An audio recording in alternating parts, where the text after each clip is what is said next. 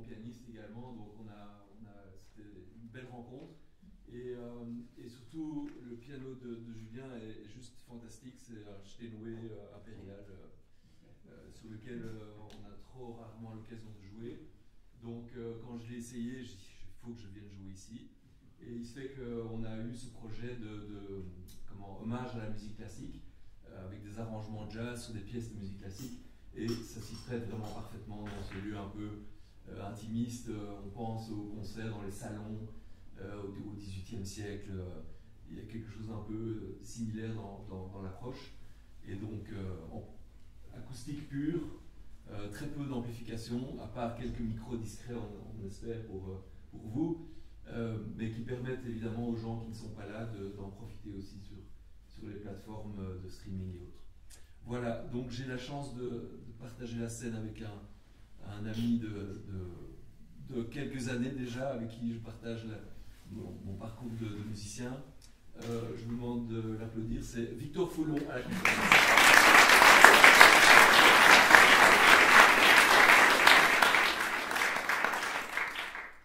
Mettez vos téléphones sur mode avion et on va partir pour le concert. Alors, on va commencer avec euh, une pièce qui est en fait le second mouvement du concerto en sol majeur de Maurice Ravel, euh, qui s'appelle, la, la, petite indication c'est Adagio Assai. Voilà.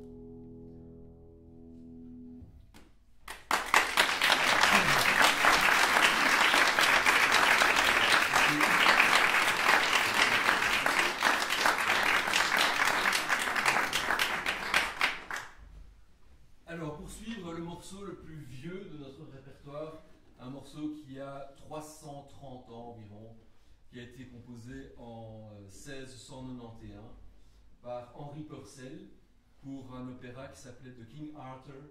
Et le, morceau, c'est euh, L'air du froid, et donc euh, appelé dans la langue d'Henri Purcell Cold Song.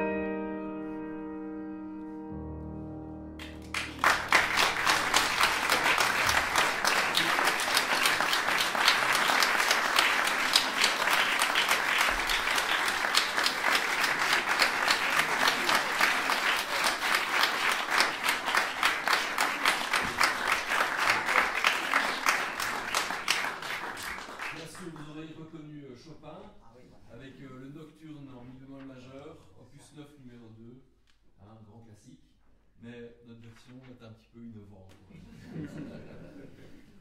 Euh, on poursuit avec un- une pièce de euh, Claude Debussy, un morceau qui était déjà inspiré du jazz de l'époque, hein, qui était plutôt en fait euh, le ragtime en fait à, l'origine, Euh, bien que dans le ragtime, donc Scott Joplin et tout ça, hein, dans le ragtime il n'y avait aucune improvisation, tout était écrit comme en classique. Mais ça a été, disons, le- le- les rythmes qui ont donné un peu de naissance au jazz avec le gospel, entre autres, et le blues, bien sûr. Et donc, euh, Claude Debussy était contemporain de ce, premier euh, style de jazz, on va dire, hein, avec le, le style Nouvelle-Orléans, euh, New Orleans. Et donc, il a écrit cette pièce, d'ailleurs, qui fait référence à la musique noire, puisqu'il a appelé son morceau The Little Negro. Alors évidemment, c'est un titre pas vraiment politiquement correct de nos jours, de Little Negro, mais voilà, c'était une autre époque, n'est-ce pas? Et nous, on va le faire swinguer un petit peu plus que, Claude Debussy, puisque malgré tout, euh, Claude Debussy, c'était pas vraiment le jazzman le plus rock'n'roll de l'histoire de la musique. Mais euh, euh, je, évidemment, respect immense pour ce, compositeur magnifique. Donc, The Little Negro.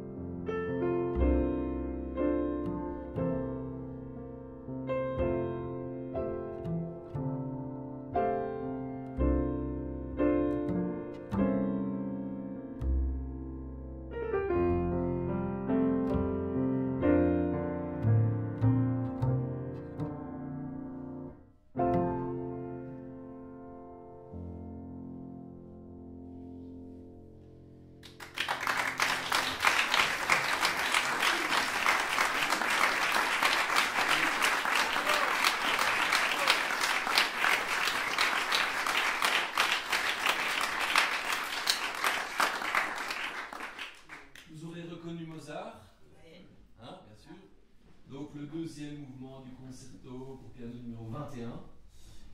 Euh, et on poursuit avec euh, un morceau que j'ai écrit, mais sur base d'une composition classique, qui est un prélude de Bach en Do mineur, hein, dont le clavier est bien tempéré. Et euh, le morceau est un petit peu mécanique, hein, comme ça. Donc j'essaie de le rendre un petit peu plus, moins mécanique et surtout laisser la place à l'improvisation dans le morceau. Et puis je l'ai raccourci d'un temps. Donc la mesure, normalement, c'est du 4 quarts, et moi j'en ai fait du 7 quarts. Donc, euh, j'ai un peu transformé. Du coup, comme je l'avais suffisamment transformé, j'ai pu le déposer à la Saba, me toucher les droits non, je rigole parce que c'est de toute façon du domaine public. Donc, euh, maintenant, tous mes arrangements ont été brevetés. Donc, euh, ne vous inquiétez pas pour mes sous, ils arriveront à bon port. voilà, donc, adaptation sur le. variation sur le prélude en Do mineur.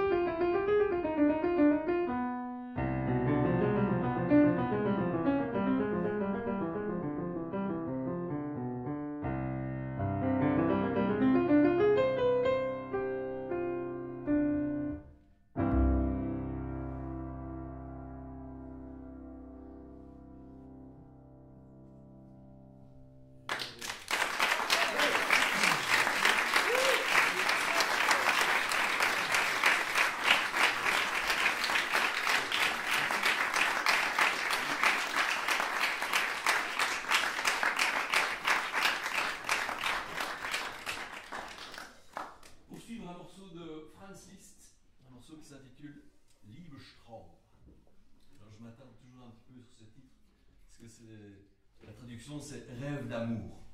C'est vraiment un peu, enfin je trouve ça un peu quiche moi, comme titre. rêve d'amour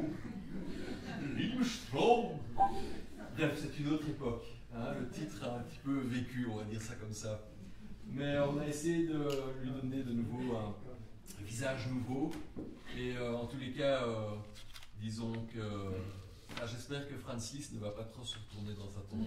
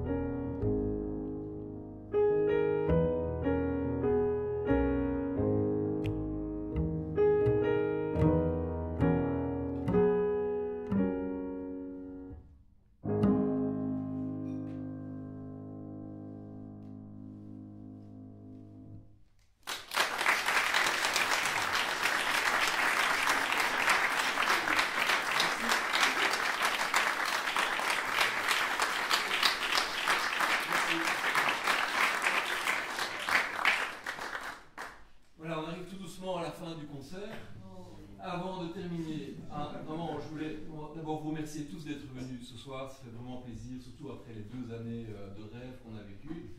Surtout nous, comme musiciens, on a, vraiment eu beaucoup de, difficultés. Donc ça fait vraiment plaisir de vous voir tous ici en vrai et pas derrière les écrans. Hein, même si on, fait pas mal d'écrans en plus, mais bon, c'est comme ça. Euh, ce sont les nouvelles habitudes, justement, après cette période où on s'est adapté. Euh, mais avant de conclure, vraiment un tout grand merci pour l'accueil qu'on a eu ici, euh, toute l'équipe du Jardin Musical. C'est un super lieu, c'est un super projet. Donc vraiment, parlez-en autour de vous, ramenez les gens. Il faut vraiment bouger le public autour de ce projet qui, nous trouvons, a le, le mérite d'être vraiment soutenu. Merci à eux et je vous demande qu'on les applaudisse vraiment chaleureusement.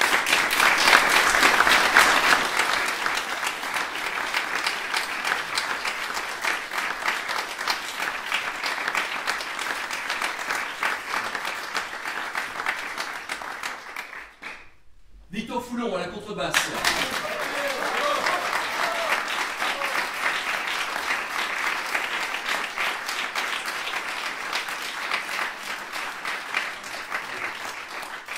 Olivier Colette, Olivier Colette au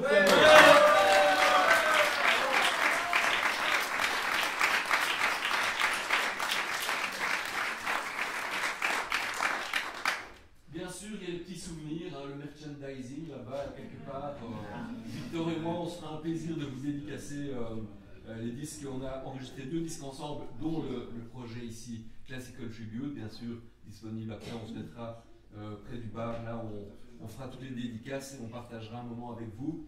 Privilégié, c'est l'avantage de ce genre de lieu, c'est qu'il y a une proximité avec les artistes et on peut passer du temps vraiment à, se rencontrer et à échanger sur la musique ou d'autres choses, n'est-ce pas?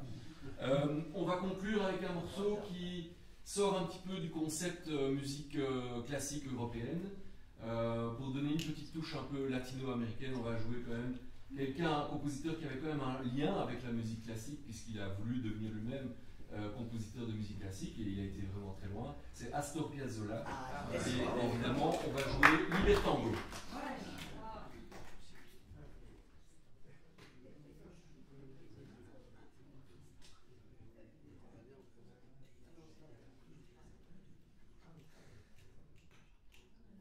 Bye.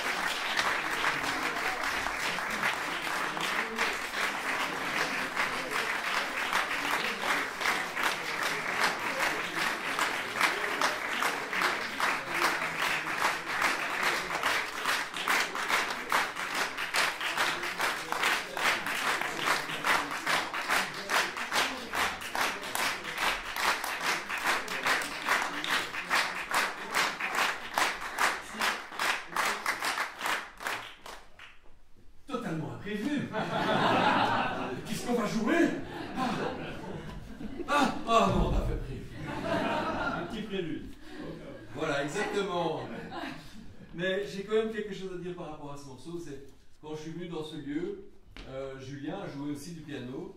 Et euh, il a joué notamment cette pièce-ci, mais pas exactement la même. Il a joué l'original.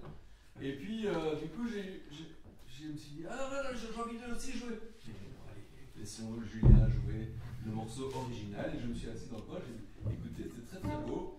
Et puis, je me suis dit, ah, quand je vais revenir chez lui, je vais jouer la même pièce, mais la mienne, parce que j'ai un peu transformé, évidemment. Variation sous le prélude en Do majeur de Bach que je te dédie, euh, Julien, pour, euh, pour ton accueil et, et, et,